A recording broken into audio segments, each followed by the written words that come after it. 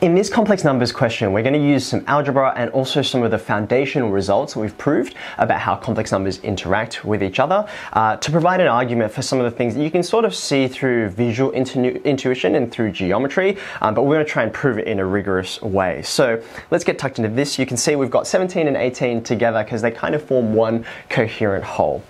17 says, show that for any non-zero complex number z, and they've written it in polar form, um, that part A, z times its conjugate equals uh, the modulus of z all squared. So there are, by the way, um, a part B and a part C to this question, but I'm only going to focus on part A because um, that's the part that gets referred to in the next question. So let's have a go at this. Um, the first thing that I'm just going to flag, which seems a little bit unusual, is that uh, this question says show that for any non-zero complex number. Um, so they're actually saying any complex number except for the origin. That's the only one we're excluding. We will come back to that point a little bit later on. Let's tuck into uh, this result that we're required to prove. z times its conjugate equals uh, the modulus of z all squared. Now, what they're doing is they're saying to us from the outset, uh, define this in polar form and then see what you can get from this, right? So I'm going to say if z is equal to um, some modulus r times cos some angle theta plus i sine some angle theta, then by definition, the conjugate of z is to take the imaginary part and flip it upside down. You know, if you were positive, make it negative. If you were negative, make it positive. So I would say um, in this form, the modulus is unchanged, r stays the same, cos theta also stays the same because that's the real part. But here comes the imaginary part, it's minus i sine theta because I'm taking uh, the opposite sign. So now what happens when I multiply these two things together? Well, I would say z times its conjugate, z bar, equals, all right, well, let's, let's see what happens. I'm going to be a little bit lazy and just multiply these uh, like so. So I think I'll just pop that over there.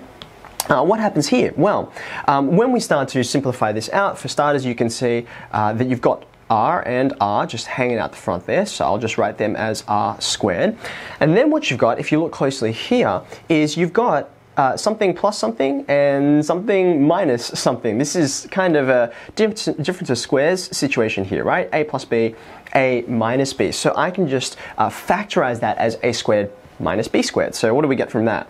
Uh, cos squared theta, that's my a squared, then minus b squared. But in this case, we just have to be a little bit careful because the b includes the i and the sine theta. So therefore, b squared will be i squared sine squared theta. Okay, so there's my a squared minus b squared, um, but I know by definition that i squared is equal to negative 1, so I'm getting cos squared theta plus sine squared theta. And by my handy dandy Pythagorean identity, I can say that that part is just equal to 1. So there's r squared, but thinking back to what I was supposed to prove, um, r is the conjugate, sorry, is the modulus rather, of z. So this is just the right hand side that I was after, right? So I can just substitute that as uh, the modulus z squared as required. Okay, so that was not too arduous. That was 17, part A. And then 18 says, let Z, it starts off in a very similar way, let Z be any non-zero complex number. And now, as we read the next part of the question, we can see why they specify that this had to be non-zero. It says, by considering arg of the absolute value of z or the modulus of z squared, use this result that we just proved um, to show that, uh, to prove that arg of the conjugate of z equals minus arg z. Okay, so take a breath for a second. What's going on? Why were they saying that we had to have not just any complex number, but a non-zero complex number? Well, it has to do with the fact that they um, asking us to prove a result um, using something to do with arguments, right? Now, arguments, we remember, are the angle starting from the positive real axis that we rotate upwards anti-clockwise um, until we are facing in the direction of our said complex number. Now, every complex number on the complex plane has a well-defined argument, um, except for one point, which is the origin, because if you want to think about it this way, if I just draw a little complex plane here, and if I say, oh, uh, here is uh, here's the origin, what is the angle at which you're facing to be pointed at that? Um, it, it doesn't make sense to pick any particular angle over any other. Um, you're always facing at the origin if you're standing on it, right? So therefore, we say um, arg zero is undefined. Uh, so that's why what they're doing is they're trying to say, well, look, let's just let's just take zero out of the running. Let's just not consider that as part of it, um, and then let's think about the arguments of the rest of these. So this is question 18. When I want to think about um, arg of uh, the modulus of z squared, um, I can say since uh, you know the modulus of z squared, if I'm taking out the origin, right, then uh, this is just going to be, if you want to think about it this way, um, going back into rectangular form, it'll, we'll work it out as the square root of a squared plus b squared. A and B both being real numbers.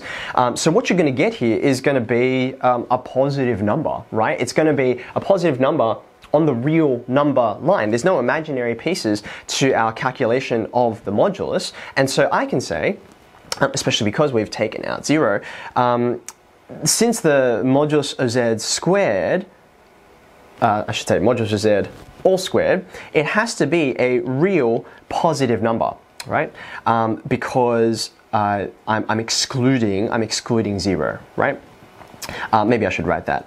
Um, as z is not equal to zero, I can say therefore that the argument of the modulus of z squared um, is going to be, think about this, right? It's going to be somewhere on the real number axis and on the right hand side. But if we said that the argument is, by definition, the angle that you're facing at, starting from the real positive axis and rotating up, if you've got um, any number over here on the real axis on the positive side, the argument to all of these numbers is going to be zero. You don't have to rotate anywhere. This is your starting point, right?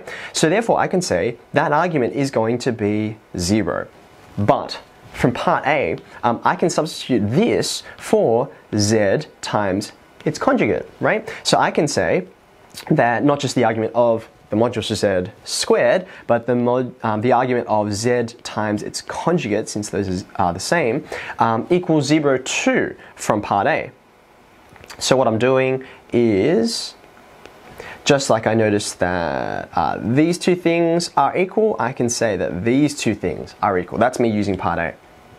So now that I've gotten to this, where do I go? Well, um, as with all proof questions, what I'm going to try and do is keep in mind my destination uh, in order to work out how I should simplify uh, the current thing that I'm working on, right? Now you can see here's the destination. I need the argument of the conjugate of z, separate to the argument of z. And at the moment, um, they're kind of tangled up together. Now, at this point, what I have to do is use a result that I proved when introducing the polar form. One of the main reasons why we introduced polar form is because it helps us understand what happens to the arguments when you multiply two complex numbers together. So to remind you, uh, let's have a look at our proof of multiplication in polar form we had to sort of do some uh, little work with trig identities here to say when you take two arbitrary complex numbers like um, r1, r2 times cos alpha plus i sine alpha, cos beta plus i sine beta, uh, what happens when you just expand that all out? And then when you collect the, uh, the real and the imaginary parts, then you use the appropriate trig identities. We noticed that uh, the moduli get multiplied, that's not relevant to us at the moment the arguments are what we're really interested in. And using these uh, trig expansions here, we notice that you add the arguments together if what you're doing is multiplying two complex numbers. So therefore, I can kind of do this in reverse. You can see I've got this uh, multiplication here. And so the argument um, of the the product here is going to be the, the sum of the two arguments that I started with. That is arg of um, z plus arg of z bar. Um, if you like, just going back to our proof, um, that's like this is the first number and this z bar will be my second number, right? So that's why you can see I'm going to add these arguments together which is what I'm doing here to get the argument of the product, right? So I haven't done anything to the right hand side, it's still zero. But we're pretty much there, aren't we? Can you see what I'm trying to do? I want to prove that uh, arg of the uh, conjugate of z equals minus arg z. But I'm only one line away from that. All I have to do is subtract this arg z from both sides. So I am going to do that. arg of the conjugate of z equals minus arg of z as required. So that's the whole proof. And um, just to show you, just to bring it full circle, right, um, what, what this actually means, if we are to draw, actually I'll do it this way. Um, if we draw ourselves a little complex plane here, bit messy, but you get the idea. If I had some arbitrary uh, complex number, z, so long as it's not on the origin, uh, and then I think about where is its conjugate going to be, well, um, the real part is going to be the same, so I'll still be on um, this same uh, vertical, sorry, the same horizontal coordinate, um, but I go from this vertical part here and I flip to the opposite side. So um, my z bar will be somewhere around here. So then when I think about, well, what direction am I facing in to be going up to that complex number versus going to this complex number, um, you can see, well, if this is theta, then this angle down here will be the same size but in the opposite direction, uh, which is to say the argument of the conjugate, which is this angle down here, is the same as going to the original number but minus. So instead of going up that way, I'm going to go down that way. Um, and you could probably look at this and say, oh, well, it, it must be true because visually it is the case. Um, what we've done is we've used our, um, our knowledge of complex numbers, how they're defined, um, and what happens when we put all of this arithmetic together to get our, our result here. So it doesn't just look like it's true, it absolutely can be proven.